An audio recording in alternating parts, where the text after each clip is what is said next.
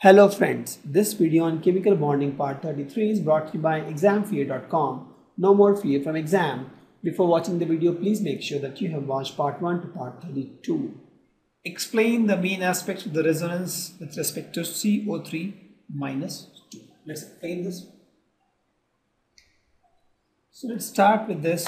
So I have carbon, 4 electrons, oxygen, 6 into 3 plus 2 negative charge.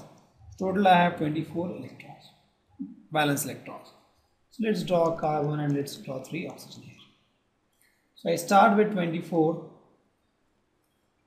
There are 3 bonds minus 6 in bonds. I get 18.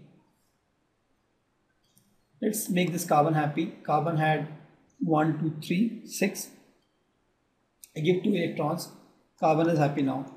I have 16 16 electrons I have, I have each oxygen that needs 6 electrons. That means I need 60 to 3, 18 electrons, but I have only 16 electrons, right? Means That means there's a deficiency, so I'll do a double bond.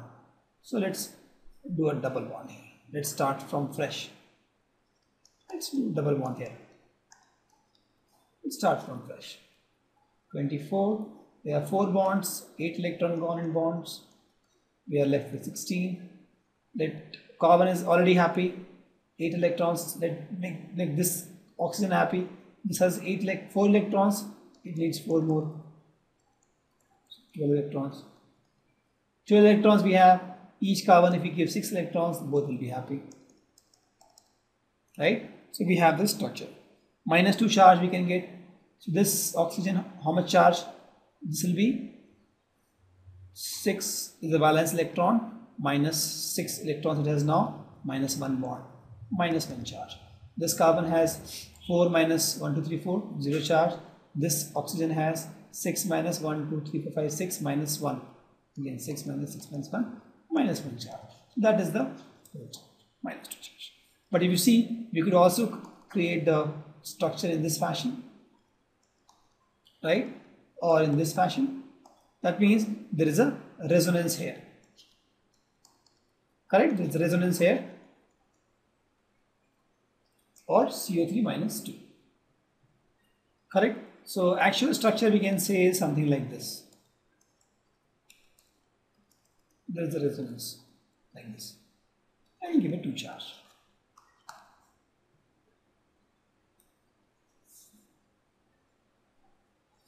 The question is H3PO3 can be represented with these two structure. Can these two structures be taken as canonical form for the resonance? Let's see. I don't think so because if you see here I have two OH. Here I have only one OH. Because the position of atom has been changed, right? The, the position of atom, atom has changed. So we can't say that it is a resonance. It is not a resonance. Because it is OH, OH here, it is OH, it is OH. The position has changed.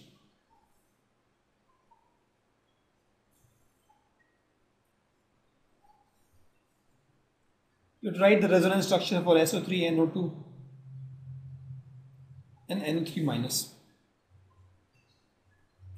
See for S O3 we get something like this or we can get something like this O double bond here or we can get something like this. Any of this is true. Correct. For NO2 I can have double bond with this oxygen or I can have double bond with this oxygen. For NO3 minus, I'll have one double bond either with this oxygen or this oxygen or this oxygen.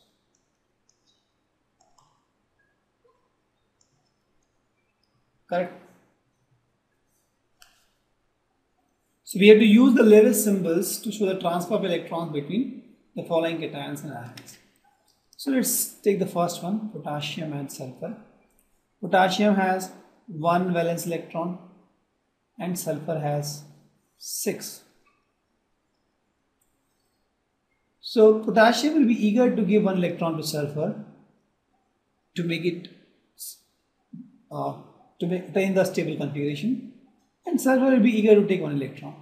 So in this case, I'll have potassium as plus charge, sulfur will get two negative charge because sulfur will take two electrons from two potassium. This will be the structure. If we talk about calcium and oxygen, calcium has two extra electron, oxygen has six the valence electron. So calcium will be eager to give these two electrons to oxygen. So it will become calcium 2 plus and oxygen 2 minus. Correct? Let's talk about aluminum and nitrogen. Aluminum has 3 electrons in the valence shell. Nitrogen has 5. So aluminum gives all this electron to nitrogen, both will become stable. So aluminum will become Al. 3 plus. And 3 minus. And nitrogen will becomes 3 plus actually. Nitrogen will gain uh, 3 electron, it will get 8 electron. And it will become 3 minus. And both are happy. And they form a bond. The question says all those all those CO2 and H2O are triatomic molecule, the shape of H2O is band, CO2 is linear. And we explain this based on the dipole moment. Using VSEPR also we can explain, using dipole also we'll explain. We'll explain using both. You take carbon, this is the shape CO2. There is no uh, electron here in the valence shell. And the net dipole is 0 it is linear. We take H2O, so we have two valence, uh, two lone pair here, hydrogen we have, hydrogen we have. The net dipole for this is here, and there is a dipole, it has some value, x, which is positive, right? And thus it is, if you see, it is bent and this is straight. Using VSEPR also we can explain. Using VSEPR, if you see this is uh, a case, this is a case for uh, two lone pair plus two bond pair. So that means it is bent. Correct? What is the significance and application of dipole moment?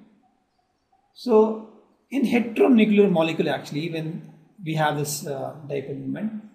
The polarization comes due to difference in electronegativity of the atoms, right? So because this one molecule, one atom acquires positive charge, other becomes negative, and thus the molecule is said to be dipole.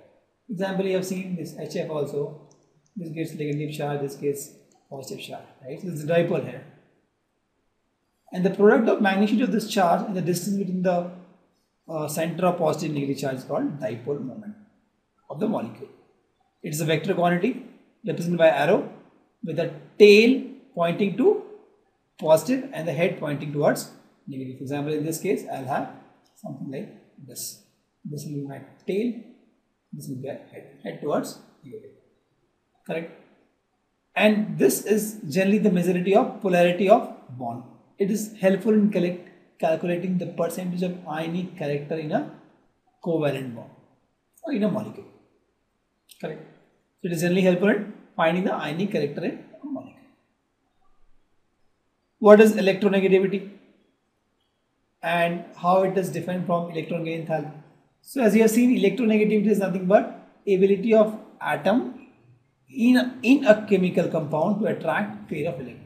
So please note this has to be in a chemical compound and is not constant. I can't say that electronegativity of fluorine is X. I can't say because it, it varies from compound to compound. It varies with which, what is the other atom with which this molecule is tied. Right? It varies from, it varies. It is not a measurable quantity, it is only a relative number. But when we talk about electron gain enthalpy, this is nothing but energy required to uh, form or remove electron or sorry add one electron to a atom to make it an ion. It can be positive or negative. This can be exothermic or endothermic depending on whether electron is added And a particular element will have a constant value of electron gain enthalpy and it can be measured experimentally. So this has a constant value. So I'm talking about oxygen. So oxygen will have a particular value of electron gain enthalpy always. When you talk about electronegativity, you can't say the value of electronegativity oxygen is X because it varies whether it is linked to hydrogen or sulfur based on the condition. So we have to explain the polar covalent bond. So if you see water, example of water, this guy will get slightly negative charge, slightly positive, slightly positive. Why? Because oxygen is more electronegative than hydrogen. So since it gets a charge here, I'm saying that this is a covalent bond but still it's polar. It is not neutral. So it's a polar covalent bond. That's what it say most of the covalent bond has the ionic nature and vice versa. So it's a polar covalent bond. You to arrange the bond in increasing order of ionic character. So ionic character is, you know, say the ionic character is proportional to difference between electronegativity of molecules. Correct? So this is electronegativity. So the more the difference of electronegativity between these two atoms, the more ionic it is. Correct? So this in this case both are same. Nitrogen, nitrogen, it has least ionic character. Then it comes SO2. Then comes ClF3. Then comes K2O. And the maximum is LiF because in this case the difference between lithium and uh, fluorine electronegativity is huge. So more is the difference in electronegativity of the atoms in the molecules, more ionic the molecule will be. Thank you.